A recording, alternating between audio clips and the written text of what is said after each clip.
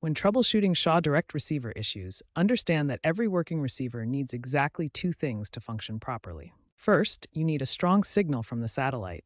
Second, your receiver must be authorized by Shaw Direct with an active account.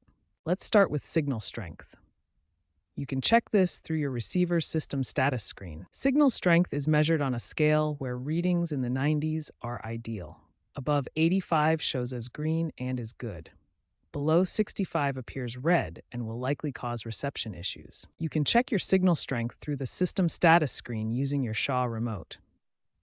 Professional signal meters like this one can also help technicians diagnose signal issues.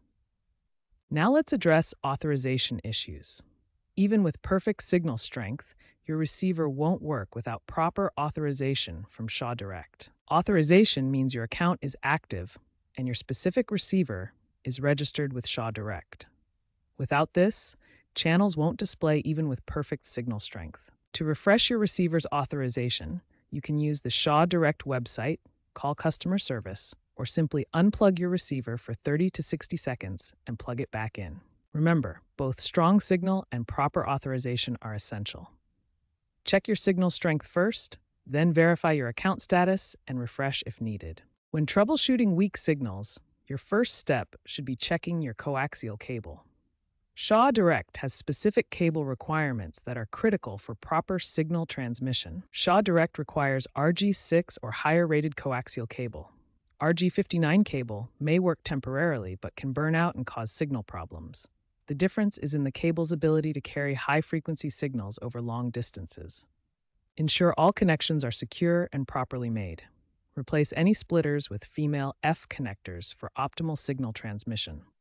Loose connections are a common cause of intermittent signal issues. A clear line of sight between your satellite dish and the satellite is essential for proper signal reception. Any obstructions in this path can cause signal disruption or complete loss. Common obstructions include trees, buildings, snow accumulation on the dish, and even temporary obstacles like construction equipment.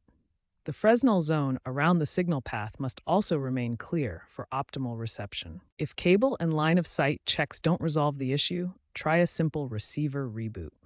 This basic troubleshooting step can resolve many temporary glitches and communication errors. If a simple reboot doesn't work, you may need to perform a factory reset. However, be aware that this will erase all your custom settings, recordings, and preferences, returning the receiver to its original state. For advanced troubleshooting, if you have multiple receivers, try swapping them between locations. This helps determine whether the problem is with the receiver itself or with the cable line and connections. If none of these steps resolve the issue, it's time to contact Shaw Direct customer support. Professional assistance may be needed for dish alignment problems or LNBF issues. That's the eye of the dish that receives the satellite signal.